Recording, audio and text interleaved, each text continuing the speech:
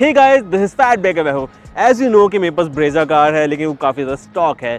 तो मैंने क्या सोचा थोड़ी सी वीडियोस बनाई जाए इसको मॉडिफाई करने के लिए। एंड आज पार्ट वन है मॉडिफिकेशन का जिसमें गाड़ी के टायर्स मॉडिफाई करने वाला हूँ। एंड आप देख सकते हैं कैसे मेरे स्टॉक टायर्स हैं यहाँ पर। आप एक और चीज़ नोटिस करेंगे यहाँ की लोकेशन बहुत ज़्यादा ब्यूटीफुल है। भाई जहाँ तू खड़ा है ना यहाँ बंदा जाता है अगले दिन सिर्फ़ ब्यूटीफुल फ़ोटो ही आती है न्यूज़पेपर में। तो आज जो हमारी कार है उसमें एलॉयज लगवाएँगे। यहाँ पर देख सकते हैं जो मेरे रिम्स है वो प्रॉपरली स्टॉक हैं जो गाड़ी के साथ आते हैं। टाइम टू मॉडिफाई इट हम चलेंगे करोल बाग यहाँ से एंड अपने रिम्स की शॉपिंग करते हैं। Yes we are heading over to Karol Bagh and आप लोग ये सोचेंगे, मैं एलॉइस क्यों लगवा रहा हूँ? नॉर्मल मॉडिफिकेशन भी तो कर सकता हूँ। वेल मैं एलॉइस इसलिए लगवा रहा हूँ क्योंकि एलॉइस से काफ़ी ज़्यादा विथ आती है गाड़ी को।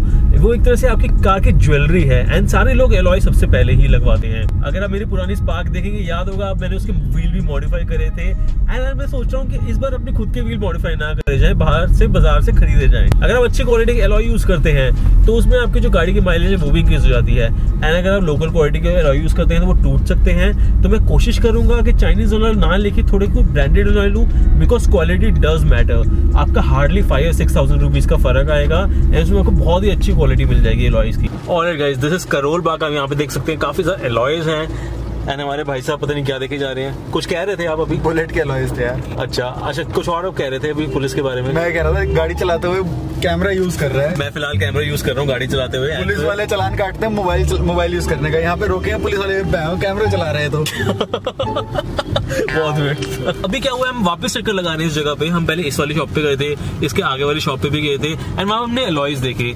इवन तो यहाँ पे ब्रांडेड अलॉयज भी थे, वो भी एक्सपेंसिव थे एंड जो चीप अलॉयज थे, हमें बिल्कुल भी पसंद आए। तो ऑब्वियसली हम करोल बाग घूम रहे हैं, यहाँ पर हम आए हैं इस वाली शॉप पे बिकॉज़ हमने अभी सारे चाइनीज़ टायर्स देखे, हमें उसकी क्वालिटी बिल्कुल भी पसंद नहीं आई। तो अभी चलते हैं इस वाली शॉप पे, ये है न्यू करंट टायर शॉप ये न्यू व्हील्स के डीलर हैं। तो अभी क्या करेंगे हम, यहाँ पर आप देख सकते हैं, बिल्कुल स्टॉक व्हील लगे हुए हैं एंड देखते हैं अंदर कौन कौन सी आपको वैरायटी मिलेगी। भैया एलॉयज होंगे ब्रेजा के? साइज़ साइज़ सोलह इंच में तो यहाँ पर देखते हैं हम एलॉयज थोड़े से ले रहे हैं यहाँ पर। अच्छा ये आपके पास साइज़ है? ये सारे न्यू व्हील्स में हाँ न्यू भी है अलग भी है। आप एक बार वो वाला एलॉय निकाल के दिखाना। एने की वाला निकाल का। तो ऑब्वियसली मैंने ये दो व्हील्स चूज़ करे हैं। ये उन्होंने बोला ये भी काफ़ी अच्छा लग रहा है एंड ये उन्होंने बोला था लेटेस्ट है। लेकिन मुझे ऐसा लग रहा है कि मुझे ये ज़्यादा बेटर लग रहा है। अक्षय आप बताइए कौन सा बेटर लग रहा है? यार मेरे को आगे वाले अच्छे लग रहे हैं। पीछे वाले यूनिक हैं लेकिन मज़े वाली बात नहीं है। मज़े वाली आगे वाले के अंदर वो लेटरिंग लगी हुई है और वो चीज़ अच्छी लगी है मेरे को। एंड बेस्ट थिंग नीओ के हैं। भैया आप एक काम करो। आप ये वाले व्हील्स लगा दो मेरे को। डब्ल्यू करा दो चलो इसका प्राइस क्या पड़ेगा? अराउंड इसका जो प्राइस पड़ेगा एवरेज ट्वेंटी सिक्स थाउज़ेंड है हमारा सेटअप कोड सोलह इंच में। ठीक है। तो अगर मेरे सब्सक्राइबर्स आएँगे उनका थोड़ा डिस्काउंट हो जाएगा? वो बिल्कुल हो जाएगा सर उसके लिए हम पूरा हर तरह से कॉपरेट करेंगे हर चीज़। बेस्ट से बेस्ट करके देंगे।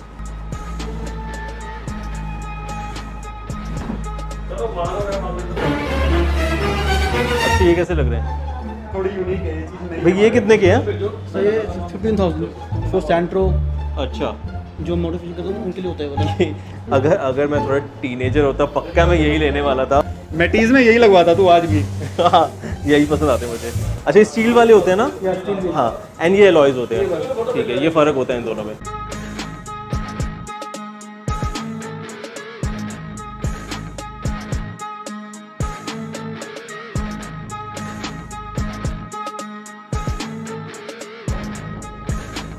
तो ऑब्वियसली मैं यहाँ पे पेंट भी करा रहा हूँ रेड कलर का। भैया अभी कितनी कोट करोगे इसके ऊपर? दो कोट दो कोट और करोगे? अभी थोड़ा लाइट लग रहा है इसको थोड़ा सा और डार्क करा जाएगा। तो यहाँ पर बारिश आ रही है। अनफॉर्चुनेटली जो आधा पेंट है वो ड्राई नहीं हो पाया है। तो मैं खुद ही पेंट इसको बाद में करूँगा। फिर आपको लुक दिखाता हूँ कैसी आती गाय की बाय द वे मैं अक्षय के बारे में बताने भूल गया ये अक्षय है।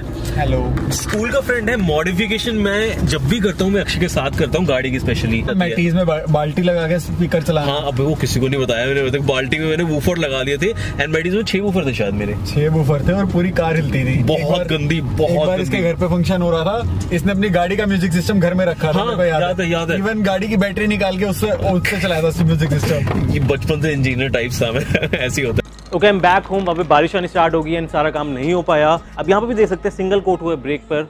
एंड यहाँ पे बिल्कुल भी कोट नहीं हुआ है तो मैं यहाँ पर घर के अंदर यही कोट करने वाला हूँ। एंड्रॉइड आज के मेरे पास ये कैसे आया? लेकिन मैं ऐसी चीज़ें रखता हूँ, जो प्रोफेशनल लेवल की होती हैं, बहुत ज़्यादा हैवी ड्यूटी होती हैं। दो टायर हवा में आ चुके हैं इम्पैक्ट टूल लेंगे एंड व्हील्स रिमूव करते हैं।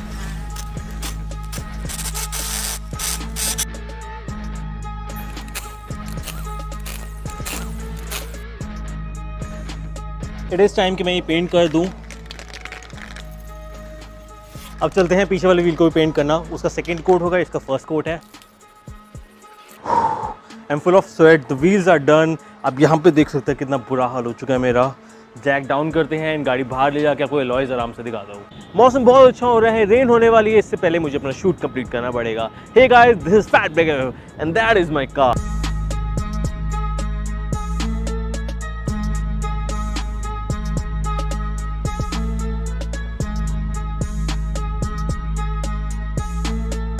obviously आप एलॉय देख सके कितने ज़्यादा गुड लुकिंग है। देन इसमें टेक्स्ट भी दिखेगा आपको, जिसमें रेसिंग लिखा हुआ है अलग अलग चीज़ें दिखी हुई हैं, जो कि मुझे काफ़ी ज़्यादा कूल लगा एंड मुझे लगा ये डिज़ाइन काफ़ी ज़्यादा चलेगा एंड ये बहुत ज़्यादा ट्रेंड भी कर सकता है। इवन दो शॉपकीपर ने मुझे ये कहा कि मेरे पास लेटेस्ट डिज़ाइन ये वाला नहीं है, इससे भी एक और लेटेस्ट डिज़ाइन है।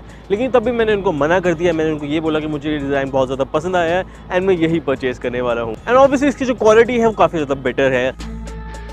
एलॉयज़ लेने के लिए मैं काफ़ी शॉप्स पे भी गया था। एंड वहाँ जाके मैंने कैसे कंपेयर करा एलॉयज़ लेने का? मैं हर जगह गया एंड मैंने फ़ोटोज़ ली। जैसे ये वाली आप फ़ोटो देखते हैं फ़र्स्ट एलॉय की थी देन सेकंड एलॉय की थी। सिल्वर कलर का एलॉय मेरी कार पे ज़्यादा सूट कर रहा था, लेकिन तब मैं सिल्वर कलर इसलिए गया क्योंकि ट्रेंड से आउट हो जाता है। देन ये थर्ड वाला एलॉय था, ये भी काफ़ी ज़्यादा पसंद आया था।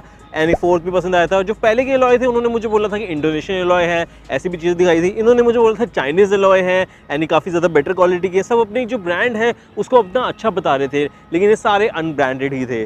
देन और भी आप देख सकते हैं, ये भी टेस्ट करा था मैंने एलॉय ये भी टेस्ट करा था एंड ये वाला भी टेस्ट किया था, ये अलग शॉप पर किया था। एंड ये नियो व्हील्स का एक और एलॉय था, ये भी काफ़ी ट्रेंड कर रहे हैं, लेकिन मेरी कार को इतना अच्छा सूट नहीं करा। देन ये वाला था, ये उन्होंने कहा था, ये भी काफ़ी ज़्यादा लेटेस्ट डिज़ाइन है। इस वाले डिज़ाइन के लिए भी काफ़ी ज़्यादा डाइसी था कि ये गाड़ी को सूट करेगा या नहीं करेगा। देन फाइनली मैंने लास्ट वाला अपना एलॉय लगा लिया था। अब जो एलॉयज होता है, उनकी लुक्स तभी आती है जब अपनी कार स्लो चलाते हैं। वेल आई नो ये थोड़ा कॉन्ट्रेडिक्ट्री है। लोग अपनी कार भगाना चाहते हैं, बहुत ज़्यादा फास्ट चलाने चाहते हैं, लेकिन स्लो चलाने में जो लुक्स आती हैं, वही बेटर होती हैं।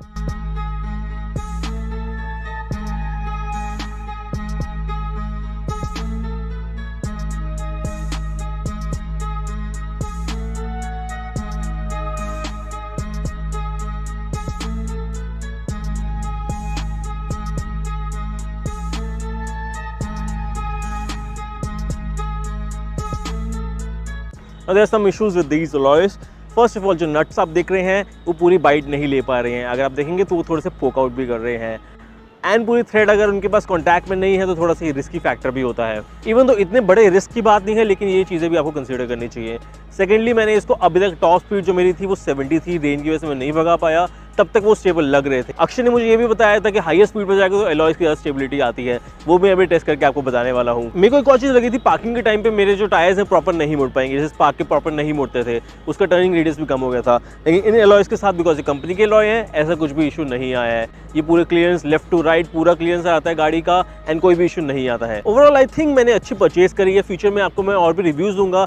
कि अगर इसमें कोई इशू आता है तो भी मैं आपको बताऊँगा। अगर अच्छी चल रहे हैं तो भी मैं आपको बताऊँगा। And thanks for watching this video अगर आपको वीडियो पसंद आई, आप इसको लाइक कर सकते हैं। अगर आपको और वीडियो देखने कार मॉडिफिकेशन के बारे में, जो कि नेक्स्ट वीडियो भी होने वाली है तो इस चैनल को सब्सक्राइब करना बिल्कुल मत भूलना। This is fat back signing off